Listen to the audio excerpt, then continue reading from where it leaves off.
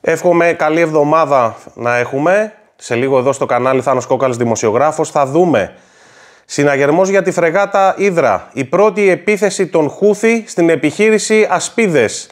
Το μήνυμα που στέλνεται για κάθε χώρα που συμμετέχει σε αυτή. Κατεπίγουσα έρευνα για την Ασημακοπούλου που πιάστηκε να στέλνει μαζικά email σε ψηφοφόρους του εξωτερικού κατέχοντας στοιχεία που κανονικά έχει μόνο το Υπουργείο Εσωτερικών. Συνεδρίαση της Διαρκούς Ιεράς Συνόδου για το γάμο ίδιου φίλου. Τι θα συζητηθεί; Το μήνυμα του Στέλιου Ρόκου για τους παπάδες και αυτούς που θέλουν να παντρευτούν στην Εκκλησία. Αυτά και όχι μόνο. Ξεκινάμε τώρα αναλυτικά.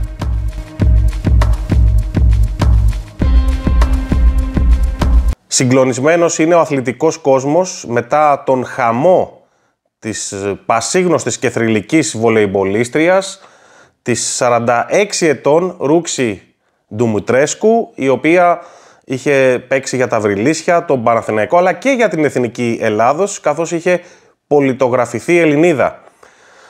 Η αιτία του χαμού ήταν ανακοπή καρδιάς, επαναλαμβάνω σε ηλικία 46 ετών. Δεν θα δεν θα κάνω κανένα άλλο σχόλιο, μπορείτε αν θέλετε να το κάνετε εσείς, ε, διότι ε, τέτοιες απώλειες και σε τέτοια ηλικία ξέρετε που οδηγούν τη σκέψη πολλών. Πάμε τώρα στην ε, φρεγάτα μας, στη φρεγάτα Ήδρα, η οποία έχει φτάσει εδώ και αρκετές ώρες στην Ερυθρά Θάλασσα και έχει ενταχθεί στην επιχείρηση Ασπίδες. Το πρόβλημα όμως είναι ότι για πρώτη φορά από την ημέρα που οι Χούθοι άρχισαν να πραγματοποιούν επιθέσεις στο σημείο έκαναν επίθεση και σε Ιταλικό αντιτορπιλικό που συμμετέχει στην επιχείρηση Ασπίδες. Πρόκειται για το πολεμικό Ιταλικό πλοίο του Ηλίο που ήταν στόχος των Χούθη με ντρόουν που εξαπέλυσαν και τα οποία το Ιταλικό πολεμικό πλοίο κατάφερε να εξουδετερώσει με τα αντιαεροπορικά συστήματα που διαθέτει. Όπως λένε και οι αναλυτές, πρόκειται για την ε, πρώτη επίθεση των Χούθη σε πλοίο πολεμικό κιόλας, που δεν είναι ούτε των Αμερικανών ούτε των Βρετανών. Είναι των Ευρωπαίων, γιατί ανήκει σε αυτή την ευρωπαϊκή δύναμη στην οποία συμμετέχει και η φρεγάτα Ήδρα. Όταν είχε γίνει γνωστό ότι μπορεί να σταλεί η φρεγάτα Ήδρα, όπως και έγινε τελικά, είχαμε βάλει και ένα βίντεο με, το, με τον τίτλο «Θα τε χτυπήσουν μόλις φτάσει». Θα διορθώσω τον τίτλο. Ο τίτλος ο σωστός με βάση και αυτή την εξέλιξη είναι «Θα τις επιτεθούν». Διότι, επαναλαμβάνω, αυτό είναι το μήνυμα που ε, βλέπουν και οι αναλυτές ότι στέλνεται από τους Χούθη. Όποια χώρα συμμετέχει θα είναι στο στόχαστρο από εδώ και πέρα.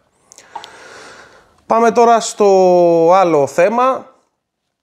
Ο νόμος με το γάμο ίδιου φίλου μπορεί να ψηφίστηκε, όμως ε, η διαρκής Ιεράς Σύνοδος πρόκειται να συνεδριάσει τις επόμενες ώρες προκειμένου να αποφασίσει και να σχεδιάσει για τον τρόπο με τον οποίο θα αντιμετωπίσει αυτή την εξέλιξη. Ήδη να πούμε ότι ο Μητροπολίτης Ναυπάχτου έκανε μία αναφορά, προφανώς καταλαβαίνουμε και όλοι ότι πάνω κάτω αυτά είναι που θα συζητηθούν, μία αποτίμηση αρχικά, λέγοντας ότι δεν πρόκειται για ήττα της Εκκλησίας, με βάση τον νόμο που ψηφίστηκε, καθώς ε, η αλήθεια δεν ητάται ποτέ και ε, κάνει κάποιες προτάσεις ήδη για τον τρόπο με τον οποίο η Εκκλησία μπορεί να αντιμετωπίσει αυτό που είναι νομι, νομίμως ε, πλέον η πραγματικότητα. Μέχρι στιγμής έχουμε μεμονωμένους, ε, όταν λέω μεμονωμένους εννοώ από κάποιους ιερείς ή όπως είναι και ο Σεραφείμ, ο Μητροπολίτης Πυραιός, κάποιες κινήσεις αλλά δεν έχουμε ακόμα, και γι' αυτό είπαμε θα γίνει και η συνεδρίαση, την τελική τοποθέτηση για τη γραμμή που θα ακολουθήσει η Εκκλησία.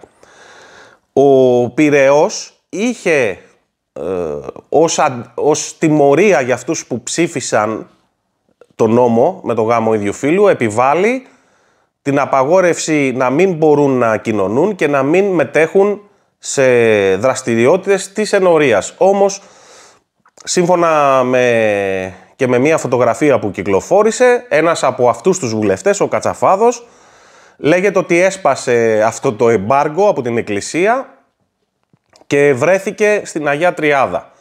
Επαναλαμβάνω όμως, για αυτούς που μπορεί να μην το έχουν καταλάβει, ότι ο Μητροπολίτης Πυραιός που μπορεί να έχει εκφραστεί και αυτός ιδιαίτερος ε, σκληρά, να έχει πει πάρα πολλά, η απόφαση που πήρε για αυτή την τιμωρία δεν είναι ένας ε, ε, εντελώς εξοβελισμός. Ο Κατσαφάδος μπορεί να πήγε στη λειτουργία και να μην κοινώνησε, για παράδειγμα. Ε, ή να μην συμμετέχει. Πού να συμμετέχει τώρα ένας βουλευτής; Εδώ, πολλές φορές και πιστοί. Τουλάχιστον όχι όλοι δεν μπορούν ή δεν προλαβαίνουν ε, να συμμετέχουν σε δραστηριότητες της κάθε ενορίας. Για το θέμα με το γάμο ίδιου φίλου, μετά από τόσο καιρό και τόσες μέρες που ψηφίστηκε και βλέπουμε συνεχώς και τα πρώτα ε, ζευγάρια να παντρεύονται με πολιτικό γάμο. Για το θέμα λοιπόν αυτό μίλησε και ο γνωστός τραγουδιστής Τέλειος Ρόκος στον Λιάγκα και αναφερόμενος ε, αυτούς που λένε ότι έχω κι εγώ κάποιους φίλους οι οποίοι έχουν αυτή την προτίμηση, είπε ότι νευριάζω, ότι δεν θέλω να το ακούω. Το έχουν, αυτό το ίδιο, ε, αυτή η ίδια λογική έχει εκφραστεί και από άλλους.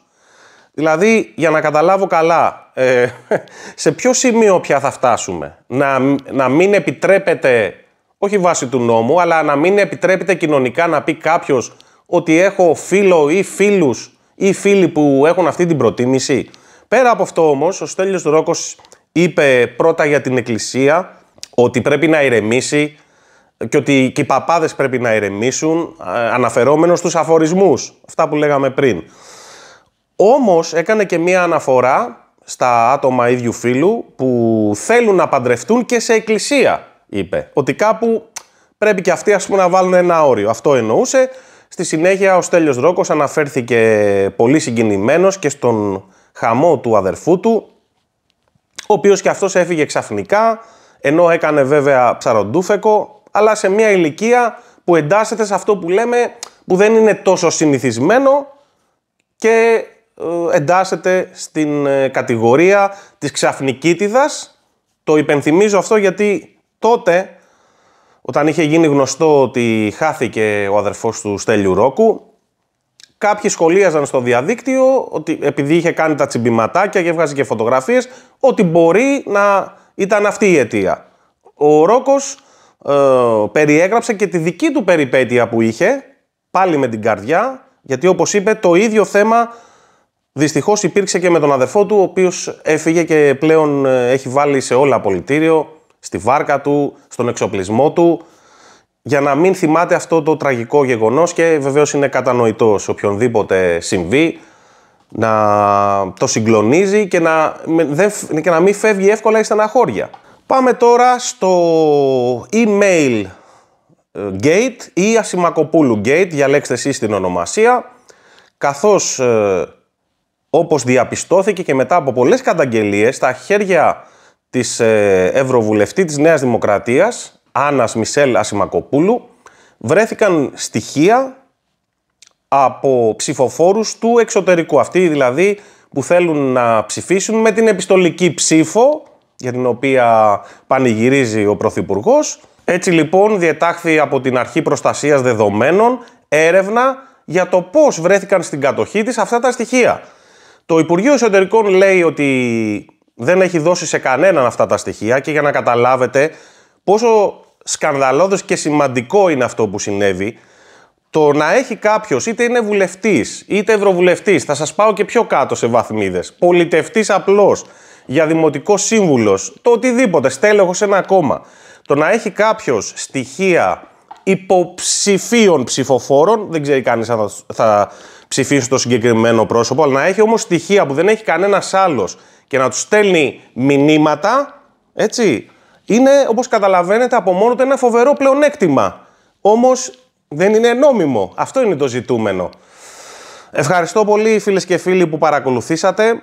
Μην ξεχάσετε να κάνετε εγγραφή έτσι ώστε να μπορείτε να παίρνετε αυτόματη ειδοποίηση για κάθε νέο βίντεο που ανεβαίνει. Εάν έχετε γραφτεί, πρέπει να ελέγξετε αν παραμένετε και γραμμένοι και για όσους το θέλουν μπορείτε να με ακολουθήσετε και στα προφίλ που έχω στα άλλα κοινωνικά δίκτυα όπως είναι το Instagram για παράδειγμα γιατί ε, και εκεί ανεβαίνει και λίγο διαφορετικό περιεχόμενο όπως καταλαβαίνετε. Ευχαριστώ και πάλι που παρακολουθήσατε. Καλή εβδομάδα να έχουμε. Θα τα ξαναπούμε.